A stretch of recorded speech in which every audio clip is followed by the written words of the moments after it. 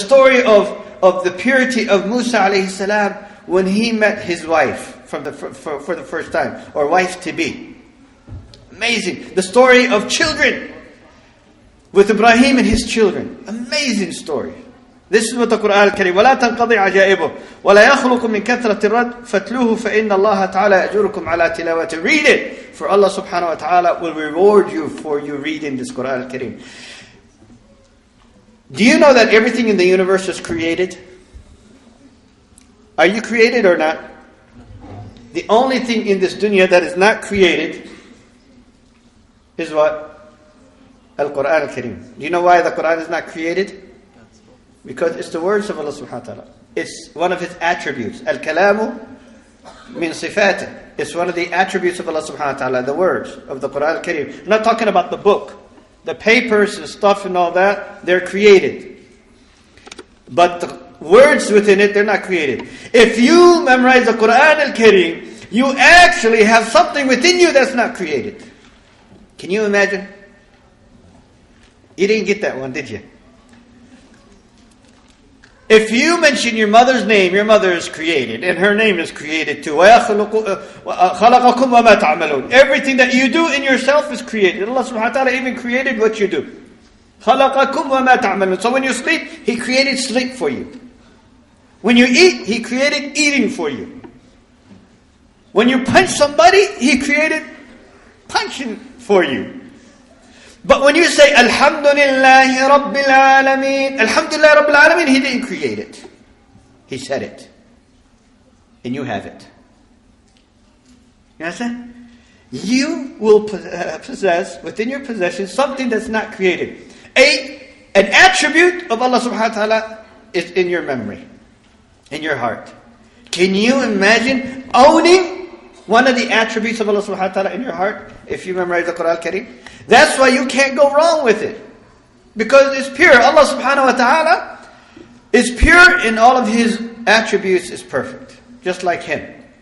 That's why He said in one of the hadiths, Hadith al-Qudsi, فضل القرآن على سائر الكلام كفضل على سائر الخلق. Hey, the Quran compared with its greatness to all the words and all the speech is equivalent to I being compared to everything else. Is, any, is anything near Allah subhanahu wa ta'ala or be compared? And so is all the words. So if you memorize the Quran al-Kareem, you have taken one of the attributes of Allah subhanahu wa ta'ala within you. In Yawm al-Qiyamah, you will be told, اقرأ وارقى فإن آخر منزلة لك في الجنة عند آخر حرف تقرأه. So if you know the whole Quran al-Kareem, you keep on rising and rising and rising because it will be said, read and elevate. Read and elevate. For your position in Jannah is at when you finish reading. At the last letter you finish reading. So if you know the whole Quran Kareem, Alif Lam Mim, ذلك الكتاب لا ريب فيه هدى للمتقين. You're going up, up, up, up. اذبحوا بقرة. أب أب أب. You're continuing. يا أيها الذين آمنوا إذا تداينتم بدين إلى أجل مسمى. You're towards the end of سورة البقرة You're still going up, up, up. وانصرنا على القوم الكافرين. You finish سورة البقرة You're still going. ألف لام ميم. Then you start سورة آل عمران And you go to Al-Nisa. And you continue going. Oh my God, you're already in Surah Al-Kahf that you read every Friday. Alhamdulillah الذي أنزل على عبده الكتاب. Then you go to Surah Maryam, Surah inshallah Taha, Taha ما أنزلنا عليك القرآن لتشقى. You finish Surah Al-Ankabut. Now you already finished 20 juz. Now you only have 10 more. And you're going, and you're going, and you're going, you're elevating. Do you know how far you can go up to? Do you know how far you can go up to? مع الملائكة مع الملائكة الكرام البررة with the angels all the way up if you know the whole Quran al and you know who will brag about you Yom Al Qiyamah more than anyone else your father and mother because they will go, they'll come and they have over their heads what tijan they got a crown over their heads they're king and queens Yom Al Qiyamah that's my daughter right there look at her that's my son over there look at him and not just that SubhanAllah, not just that. Not just that they're wearing the crowns and they're bragging about you everywhere, but 70 of your families that's supposed to go to hellfire, You will take them to Jannah with you. Uh huh. First of all, the Quran will take you to Jannah, even though you were supposed to go to hell. If you were supposed to go to hell in the Quran, you memorize, the Quran will stand there and argue, I'm not going anywhere until I take him by hand to Jannah. But, but, but, but, no, no buts. But he didn't deserve it. No. The Quran will argue, يجادل القرآن فيه حتى يقول الله تعالى له خذ بيده إلى الجنة Hey, until Allah subhanahu wa ta'ala will tell the Quran al-Kareem, okay, take his hand, take him to Jannah. Just go. Uh-huh, not, not yet. Uh, 70 of his families are coming with him too.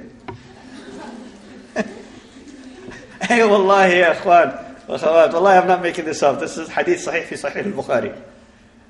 And then you start choosing 70. Now let me ask you, how many of you memorize 70 people of their family members now?